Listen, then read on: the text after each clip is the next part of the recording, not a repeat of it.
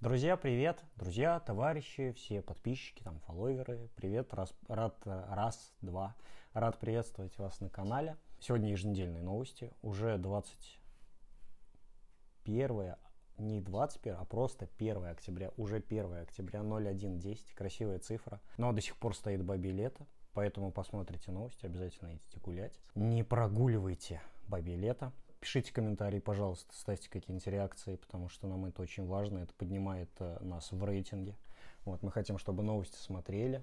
Э, даже если они вам не нравятся, тоже пишите, мы как бы учитываем критику, мы такие открытые ребята. Э, ну и что, ну и что, ну и все, поехали, поехали к новостям.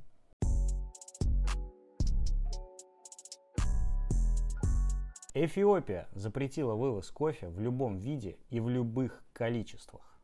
Вот как. Пока что вообще ничего не понятно, что там, зачем, почему, когда и как.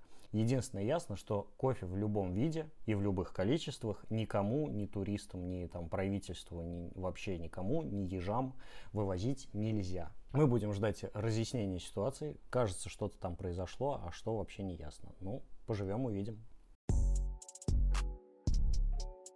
Правительство выделило еще 45 миллиардов рублей на предоставление льготных кредитов агрария. Наше правительство всячески поддерживает сельское хозяйство, хочет, чтобы оно росло и развивалось, так что ничего вообще удивительного.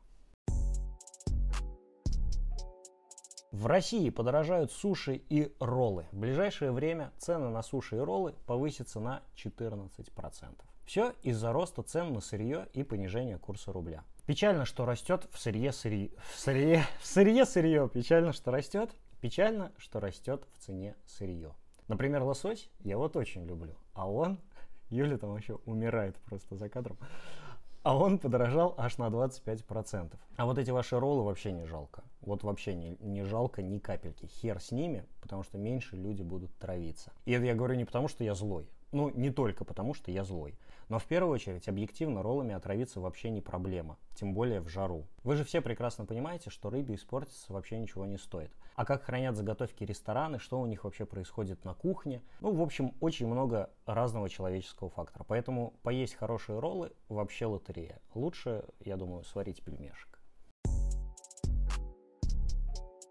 В ЦИОМ выяснил, сколько жителей России постоянно переедают. Во-первых, этот опрос был не первым. И он, кстати, включает в себя не только переедание, но и другие очень интересные вопросы. Самые интересные для меня – это внимание к рациону. И по его результатам 56% людей у нас внимательно относятся к своему меню и рациону. И это очень серьезная цифра и огромный скачок по сравнению с тем, что было каких-то 10 лет назад. Тренд отличный. И я правда очень хочу, чтобы люди у нас ели хорошую еду осмысленно, а не абы что. 23% сообщили, что у них нет возможности думать о качестве пищи. И это вот уже очень печально. Надеюсь, этот процент будет падать. Но здесь у меня один вопрос. Сколько из них не хотят думать о качестве пищи, прикрываясь отговоркой «нет возможности»? Вы меня, конечно, можете закидать помидорами в комментариях. Кстати, пишите комментарии и там помидорки можете эмодзи поставить. А, но по своей практике я могу сказать, что среди моих знакомых в 100% случаев, когда они говорят «нет возможности», на самом деле это просто отговорка, как выясняется. Ладно, эта тема уже сильно дискуссионная, вернемся к обжорству. Тут тоже цифра не самая лучшая. 54% людей переедают. Я думаю, что надо исправлять ситуацию, господа. Если замечаете за собой, что переедаете, уделите внимание этому вопросу. Можно почитать книги, посмотреть лекции диетологов. Это же ваше здоровье, и за ним надо следить. Я не говорю, что нужно садиться на диеты, потому что это тоже то еще зло, не лучше пере, э, переедания. Но хотя бы научиться прислушиваться к своему животику можно. Кудахтанье кур расшифровали японские ученые с помощью искусственного интеллекта. Итак, журналисты The New York Post сообщили сенсационные новости от японских ученых из Токийского университета, которым удалось расшифровать куриное кудахтанье. Они взяли искусственный интеллект, обучили его распознавать куриные эмоции, а эмоции решили выделить шесть. Это страдание, волнение, удовлетворение, гнев, страх и голод. При этом точность проведения экспериментов составила почти 80%. Вот прям точность, да? Вот именно точность проведения эксперимента. Мне интересно, как они выявили точность.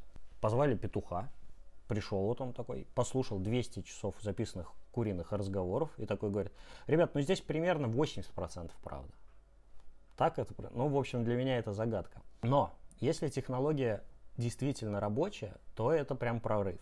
Потому что мы не только будем есть мясо счастливых кур, ее можно будет раскатать и на других животных. А значит, и ветеринарное дело сильно вырастет, и да вообще все сильно вырастет. Все же мечтали понимать, о чем говорят животные. Это же круто. В России призывают ограничить продажу газировки детям. Инициатором является Союз защиты прав потребителей, а связано это с тем, что многие производители используют сахарозаменители аспарам. Звучит как заклинание в Хогвартсе, да? И вот он, аспарам, вреден для здоровья. Может вызывать разные болезни, в том числе серьезные, например, цирроз печени и болезнь Паркинсона. Минсельхоз, в свою очередь, считает, что если вводить ограничения акцизы, то сократятся производства. Ну, как бы и бог с ними, если эти газировки вредные, правильно? Еще Минсельхоз считает, что вырастут цены. Тут тоже как бы пусть растут, потому что люди будут их меньше покупать. И появится нелегальный рынок безалкогольной продукции. Это вообще прикол, покупать газировку на черном рынке, да? В общем, пусть решают они, что хотят. Нам главное запомнить, что аспарам и консервант Е211 детям ни в коем случае употреблять нельзя. Да я бы и взрослым тоже не советовал. Уникальный биогель, который ищет в продуктах нитраты и красители, создали российские ученые. Во как. Его разработали ребята из Новосибирского государственного технического университета, НГТУ сокращенно. В общем, ребята посидели в лаборатории, поэкспериментировали и пришли к выводу, что хитозан показывает, так сказать, обнажает искусственные красители и нитраты в продуктах. Хитозан – это полисахарид, который чаще всего получают из панциря камчатского краба. Как это работает? Если нужно проверить овощи или фрукты на нитраты, берешь каплю сока из этих овощей или фруктов, капаешь в гель, если появляется красный цвет, то все, там нитраты. Если тестируешь напитки, например, соки, морс, вино и так далее, то биогель надо добавить в сам напиток. Если он обесцветится, то все, приплыли, там, значит, искусственные красители. А если искусственных красителей нет, то, естественно, цвет и не поменяется. Прикольно, мне изобретение очень нравится, и я бы дома тоже поэкспериментировал. Россияне стали покупать больше товаров для консервирования. В этом году крышек приобрели больше на 14%, а банок на 11%. Да, крышек приобрели больше. Но народ у нас любит консервировать. В целом традиция неплохая, я считаю. Главное относиться к этому серьезно, потому что консервация это, конечно, все очень вкусно, приятно, и там, вечером, зимой, с картошечкой, все дела. Но есть разные риски, например, ботулизм. Так что консервируйте, пожалуйста, с умом и по технологии. Для себя же старайтесь. Стало известно, как избавиться от запаха чеснока. Итак, ученые вернулись к этому вопросу и провели очередной эксперимент. Не буду вас заваливать умными терминами, если захотите, сами прочитайте эту статью. Нам же интересен результат, а по результатам первое место занял йогурт. Ну что, надо тестировать. Больше никаких слез. Эксперты сказали, как резать лук и не плакать. Так, с чесноком мы, в общем, разобрались. Давайте теперь перейдем к луку. Прошу заметить, что в предыдущей новости вопросом занимались ученые, а здесь занимаются эксперты. И что же, вы думаете, эксперты нам предложили? Есть какие-нибудь варианты? Если, кстати, есть, напишите в комментариях. А я вам скажу, что они предложили. Это маска с клапаном. Во как. Все гениальное просто, оказывается. Я в качестве эксперта тоже вам могу предложить. Если не хотите плакать, когда режете лук, не режьте лук. Летать как пицца. Общем, как пицца они написали. Летать как пицца. Москва хочет начать тестировать доставку дронами в 2024 году. Так, но эти разговоры ведутся уже очень давно. Основным камнем преткновения последнее время был запрет на полет дронов над Москвой. Сейчас вроде власти рассчитывают, что этот запрет скоро снимут. Поэтому в 2024 году они собираются запустить тестирование доставок дронами в Зеленограде. Какие компании будут первыми и что они будут возить?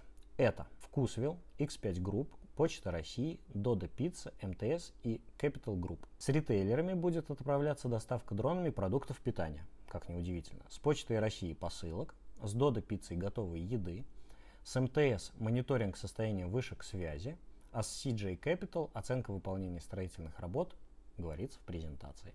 Все, конечно, классно, за исключением одного. Москва и так очень шумный город. И, в принципе, проблема шума в мегаполисах сейчас очень остро стоит, потому что он влияет на здоровье жителей мегаполиса этого самого. А тут еще эти жужжалки. Вы же знаете, с каким звуком летает дрон. Он же постоянно вот это вот жужжит, жужжит у тебя по духам. И представьте сейчас большие дроны, доставщики, и еще в большом количестве. Но это же вообще с ума сойти. Но, может быть, я, конечно, и отстал от жизни, и сейчас есть уже какие-то тихие дроны, которые вообще летают незаметно, не знаю. А с точки зрения бизнеса и логистики, это, конечно, большой шаг вперед. Россельхознадзор может ограничить импорт рыбопродукции из Японии. До сих пор продолжают думать, что делать с рыбой из Японии. Они, напомню, начали сбрасывать обработанную радиоактивную воду с атомной электростанции Фукусима-1. Все боятся, и это, конечно же, логично. Китай уже запретил ввоз э, всех вообще морепродуктов из Японии к себе в страну. Вот и наши думают сделать то же самое. Как умереть от обжорства, даже не покушав? В ресторане Амана Лас-Вегас вы можете заказать пасту в пицце, политую расплавленным сыром. Здесь я даже комментировать ничего не буду. Вот видео уже идет, вы можете сами на это все посмотреть. Еще раз. Они берут пиццу, сворачивают ее в конвертик, складывают туда пасту и заливают это все плавленным сыром или соусом. В Японии придумали гениальное изобретение – индивидуальный столик для вкусняшек в кинотеатре. А вот это изобретение, по сравнению с прошлым изобретением вот пиццы с пастой, мне очень понравилось. Этот столик вставляется в подстаканник кресла в кинотеатре, ну и, собственно, все. Дальше вы просто пользуетесь. А, ну еще он крутится, естественно. Классно, удобно, скорее всего, очень практично. Главное, чтобы в темноте во время сеанса никакой посетитель кинотеатра не снес его, когда ломанется в туалет.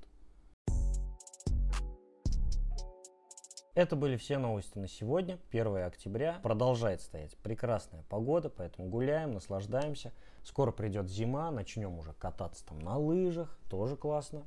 Почему бы нет? Что-то меня понесло вообще не туда в зиму. В общем, подписывайтесь на канал, ставьте лайки, пишите, пожалуйста, комментарии. Нам это очень важно. А, у нас э, выходит еще одна рубрика со мной, ответы на вопросы тоже. Посмотрите, если интересно. Там вроде как будто бы весело. Э, подписывайтесь на телегу. Телега вот она прекрасная, там вообще много всего очень интересного. Юль туда выкладывает и рецепты, и какие-то шорцы, и не шорцы, и вообще все, что можно, обзоры всякие. Воу, вообще. Но я подписан и вам советую. Э, что еще? Ну, все, все, давайте бегите гулять. Пока. Пока-пока.